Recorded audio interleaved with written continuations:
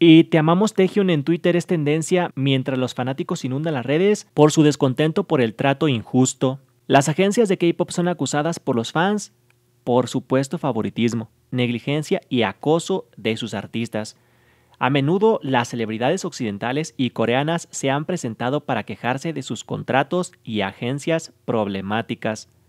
Asimismo, los fans señalan sus propias percepciones sobre el supuesto trato injusto por parte de las agencias hacia B de BTS. Después de que los integrantes se diversificaron para seguir sus carreras en solitario, junto con actividades grupales, los fans notaron que la compañía no menciona las actividades en solitario de B y la promoción de cualquier evento al que asistiera.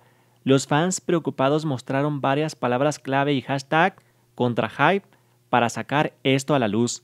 Los fanáticos destacaron las diversas ocasiones en las que Vi parecía estar interactuando con la cámara, pero el equipo de filmación detrás de la escena lo descartó, dejando a un lado un aspecto desanimado en varias ocasiones.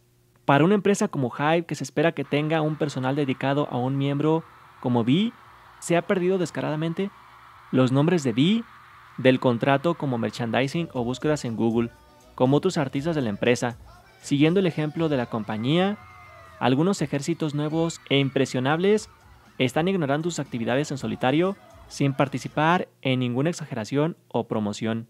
El miembro una vez oculto ha logrado sobresalir y allanar su propio camino.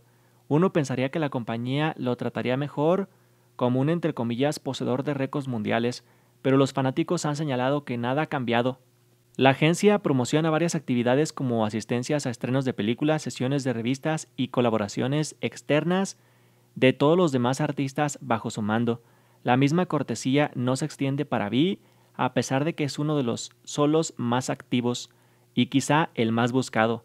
Después, ya sea la moda en París, la asistencia al estreno de películas o In The Sub, casi no se vio ningún reconocimiento por parte de la agencia.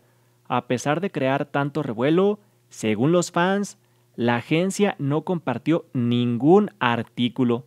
Vi estado bajo constantes ataques de antis y blanco de rumores maliciosos, como se reconoce en Vogue pero la agencia no ha emitido ningún aviso que aborde la angustia, ni se ha hecho ninguna promesa para proteger la privacidad de los artistas y reputación. Esta no es la primera vez que los fans señalan el maltrato y negligencia hacia Vi, ya sea por la falta de promoción, la invasión de la privacidad o la mala gestión general del contenido por parte de la agencia. Los fanáticos dedican y lo respaldan firmemente con el público en general, que aún lo ve como una de las caras principales del K-pop, como demuestra la demanda de su revista Vogue Korea. Pero, ¿tú qué opinas sobre esto? ¿Te atreverías a usar el hashtag Te amamos o We Love You?